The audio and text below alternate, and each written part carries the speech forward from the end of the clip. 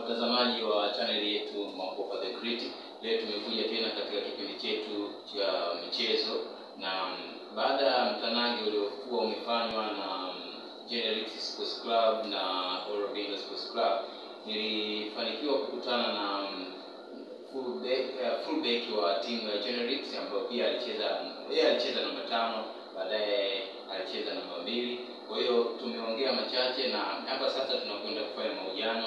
Atajitambulisha yeye ni nani, ilikuwaje na atauelezea mchezo mzima ulikuwaje siku hiyo. Karibu. Ah, mbele yenu ndio mmoja kati ya na michezo ambayo walihusika siku hiyo. Ah, yeye atajitambulisha kwa jina na kitu gani ambacho aliweza kufanya kitu siku hiyo, alipambana vipi hadi atatupa ah, hadi mustakabali mzima wa swala so zima la mpira ambao ulifanyika siku hiyo. Karibu bwana. Asante ndugu mtangazaji. Ndio. Ah, Kwa jina naitwa Mr. Dunstan Michael Kindo. Ni mmoja wa Kongo wa timu ya Generics and Champions. Mm.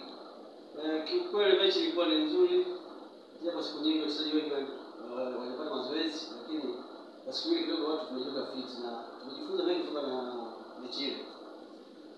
Kwa jumla mimi kama mechi za namba tano. Na niliingia kwenye kipindi cha cha pili baada ya kuwa timu kidogo eh, mazidiwa lakini pamoja na mgongo wangu niliweza kuzuia baadhi ya ya njia zile njia zile ambazo vijana walikuwa wanapitia wa Orlando. Soma ameweza kufunga kufunga magoli mengi. Na kuona kwamba naweza kupata nimeweza kupata uzoefu fulani katika ile, japo siku hizi za mpira, lakini hizi kweli nzuri na tumeenjoy na baada ya mechi ile walikuwa kama wako fiti, hata kama kesho kikuwa mechi wanaweza kucheza, sababu tayari walikuwa washaona washaona raha ya mchezo. Eh, na katika katika kampuni tunaona kwa kitu ambacho ni kizuri.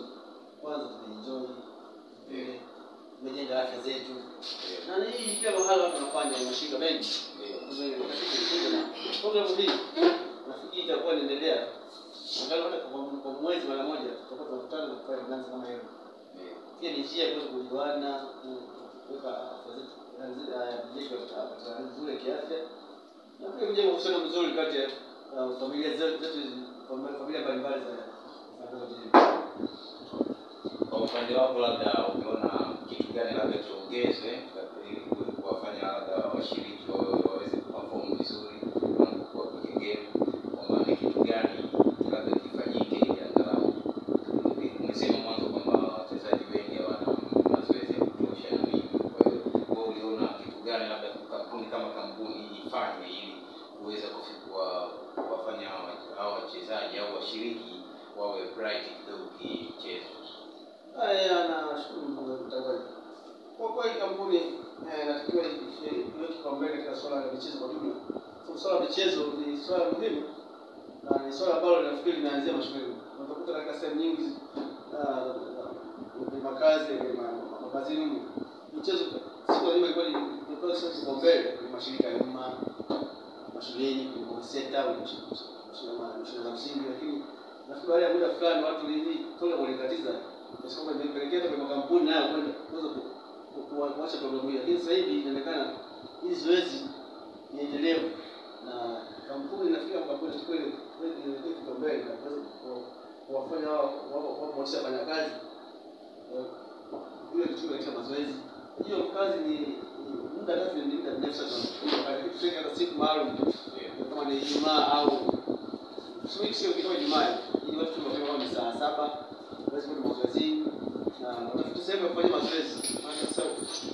hatuna uwanja hatuna uwanja hatuna hatuna uwanja ma- ma- ma- kamili kama kufanya kufanya mazoezi.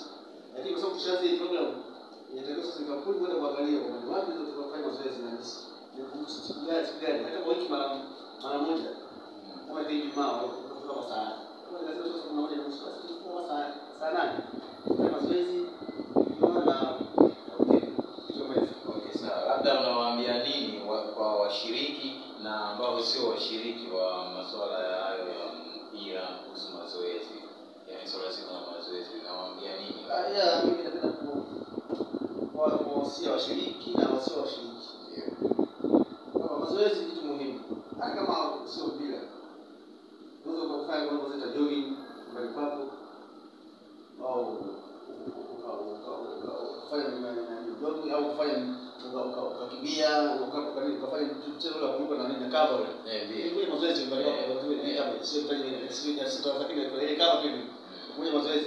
Kwa hiyo kitu kimoja unachokifanya ina maana hata kuingia kwenye ma- angalau kuna kuna pumzi sababu moja kufanya. Kwa hiyo kuna haya masa- Na masabilia siku ile ulionekana una perform vizuri, eh, labda historia yako vipi huko nyuma? Labda ulikuwa mchezaji mchezaji kidogo, kwa sababu nilikuwa naona unawakimbiza vijana sasa tunarejea wewe ni perform. Kwanza mimi nilifika pale nilifika nipa niona hali ya mchezo. Eh, ndio. Kwa nataka kwa kile mara baada ya kila kabili bao moja shafungua. Nikaanza Mungu mpiga au kwa timu. Lakini ningekuwa kwamba hawa watu waliingia nika kufanya fanya homework. Waliingia tu. Eh, Lakini kama eh kwa wewe mimi nikifanya pale kwa sababu nilikuwa nilikuwa nje. Mm. Nilikuwa nilikuwa nilikuwa nifanye homework kama dakika 30 nilikuwa nafanya mazoezi kule nje. Ah, okay. Kwa hiyo kile nje tayari shahidi. Shahidi. Sawa sawa.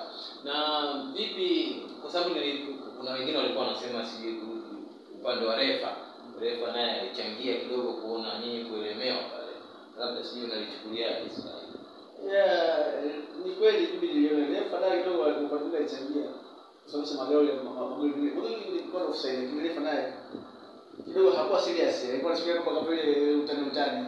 Kwa sababu ya upande wao. upande wa pili ndio ndio ndio mtu wao. Mm. Lakini kweli ile kidogo alichangia hakuwa na fair play. Okay, sawa. Eh, mtazamaji huyu ndugu Dastan Dastan Lukindo yeye ni mtaalamu wa masuala ya kisporti na pia yuko kitengo cha utawala katika hii taasisi ya dawa generics, eh, iko hapa